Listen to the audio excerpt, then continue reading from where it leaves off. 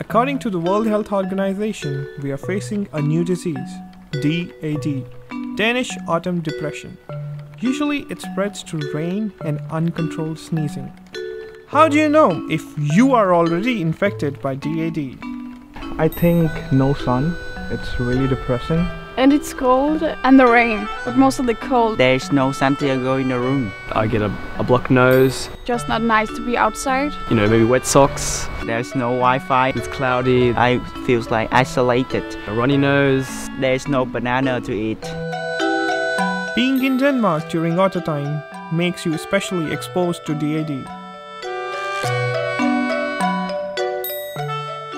But how can we protect ourselves? Dance with Santiago. Sleep, Just make it nice and cozy. And watching movies. Play video games. gumboots would do the trick. I love hot chocolate.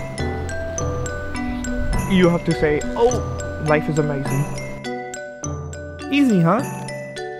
All you have to do is follow this few steps.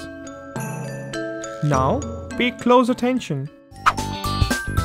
How to prevent Danish autumn depression guide. Be optimistic. Remember about warm socks and a sweater. Get some rain boots, put on a hat, scarf, and gloves. Rain jacket is a must. Two is better than one. So get a friend. With umbrella, prepare some hot chocolate with marshmallows. More marshmallows. With those 10 easy steps, you are more than ready for Danish autumn without getting depressed.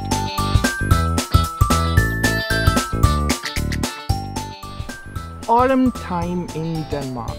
Well, uh, It all sucks, you know what I mean? I really don't like that.